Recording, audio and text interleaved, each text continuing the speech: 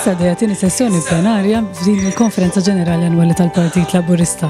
Nistgħu ngħidu li diversi delegati, deputati kif ukoll kandidati l-elezzjoni tal-Parlament Ewropew qegħdin jindirizzaw wieħed wara wieħed din il-konferenza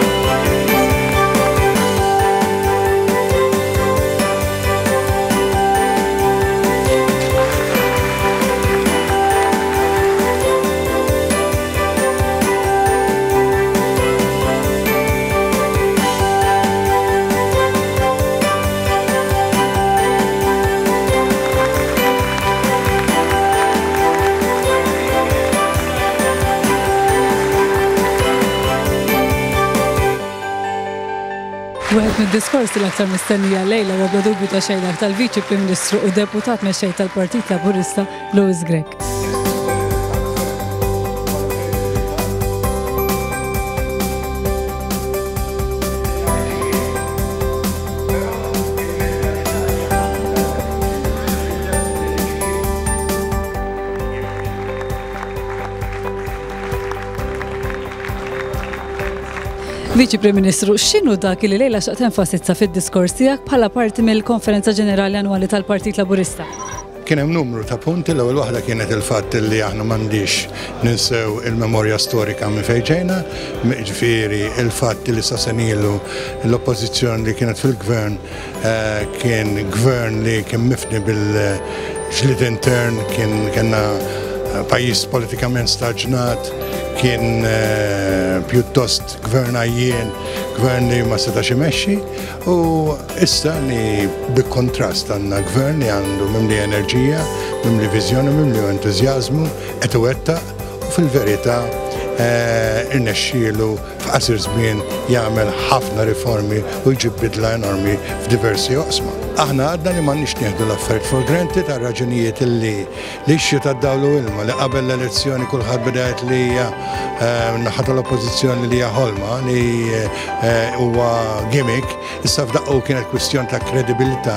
Issa f'daqqa waħda, once li aħna qed ngħidu l-isma di ħassir, ma dix iktar kwistjoni ta' kredibilità li allra wieħed irid b'xi mod jew ieħor jaljenana milli aħna ngħidu isma' kienet ix-xutan ta' kredibilità dak iż-żmien sa mhix ix-xu ta' kredibilità dak kien it-tieni punt. It-tielet punt li semmejt ukoll kienet fuq il-kwistjoni tal-Parlament Ewropew li aħna ma rridux nagħdu xejn for granted u rridu naħdmu biex inġibu l-maġġoranza u fl-aħħar eh, punt tiegħi kien li eh, fuq l-oppożizzjoni kif qed taġixxi l-mod ta' attitudni, differenza bejn l-attitudni tal-Partit Laburista fi gvern u tal-Oppożizzjoni u finalment Semmejt kif nixtiequ naraw ukoll soċjetà fil-futur, soċjetà Maltija li tkun verament ġusta, verament b'saħħitha ekonomikament u verament ħalli impatt tajjeb għal ġenerazzjoni futuri.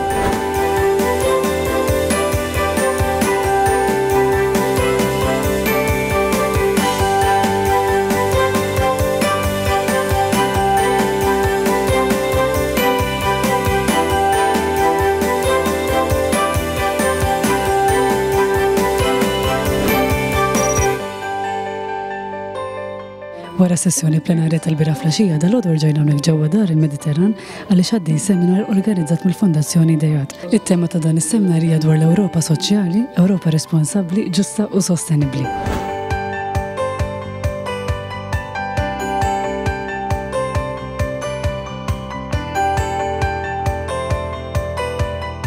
Fost il-kelliema ta' dalodu kellna lil Aaron Farrugia li huwa ċermen il-ġdid tal-Fondazzjoni Ideat kif ukoll lil Dr. Henning Meyer li huwa l-editur ta' Social Europe Journal kif ukoll huwa akademiku fil-London School of Economics.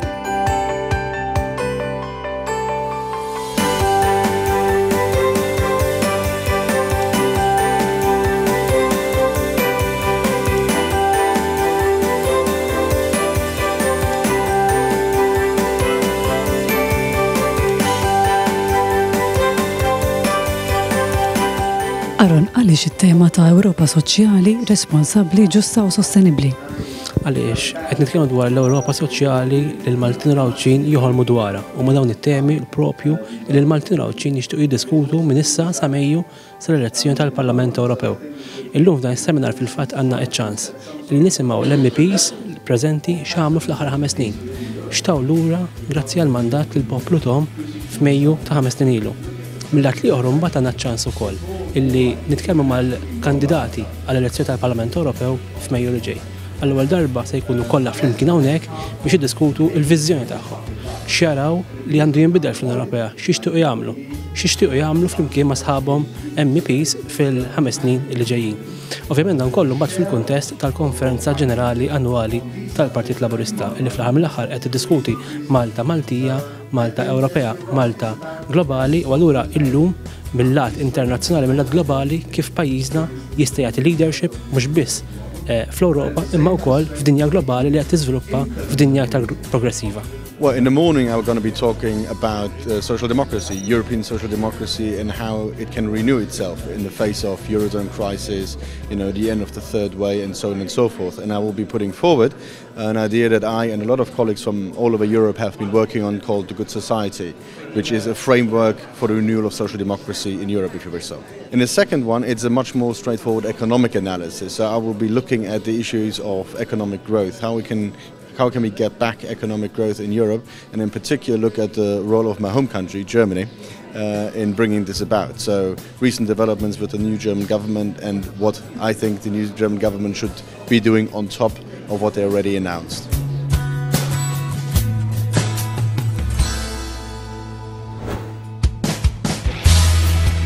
Minn ġewwa dan il-Mediterran ġejna hawnhekk ġewwa ċentru Nazzjonali Laburista li xbħalissa dejja l-elezzjoni għall-Eżekuttiv Nazzjonali tal-Partit. Dan il-proċess fil-fatt beda fil-11 u se jagħlaq fit-tlieta ta' waranofsinhar.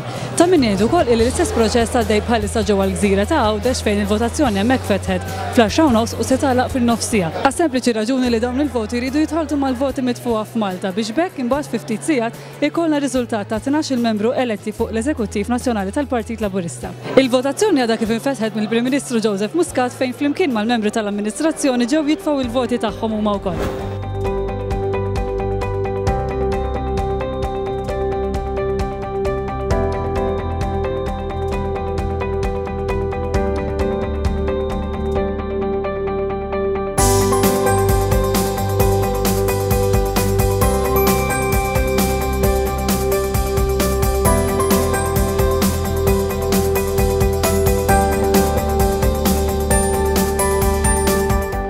Stanley, inti dal-għodu jgħad bħala chairperson tal-Komissjoni Elettorali u tara dan il-proċess.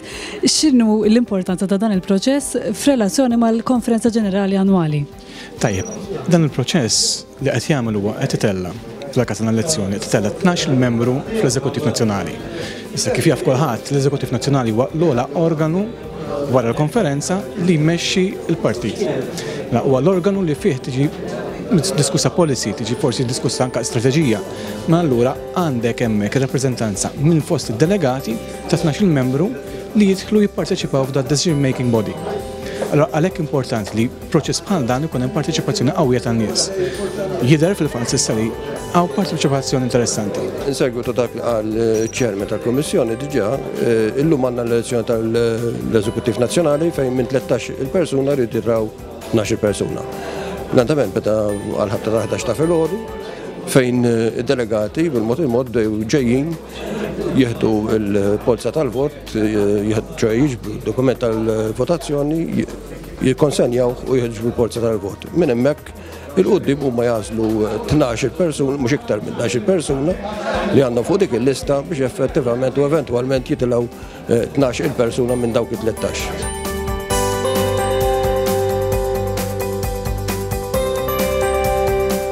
Edin uqorbu dejjem aktar lejn il-qofol ta' din il-konferenza ġenerali annwali għaliex l-unika attività li fadal insegwu hija għada filgħodu fid-disa' u nofs ta' filgħodu ġewwa ċ-Ċentru Nazzjonali Laburista fejn Dottor Joseph Muscat se jkun qed jindirizza lid-delegat u lill-pubbliku inġenerali bid-diskors tal-għeluq tal-Konferenza Ġenerali għal din is-sena 2014 bit-tema ta' Malta Maltija, Ewropea u Globali. Minn hawnhekk jiena nħeġġeġ lid-delegat u lill-pubbliku inġenerali sabiex għada jattendi bi ħġaru għad-diskors tal-għeluq ta' din il-konferenza indirizzat minn Dottor Joseph Muscat, fejn flimkien se nkunu qegħdin inkomplu nsaħħu t-tema magħżula għal din is-sena, Malta Maltija, Ewropea u Globali.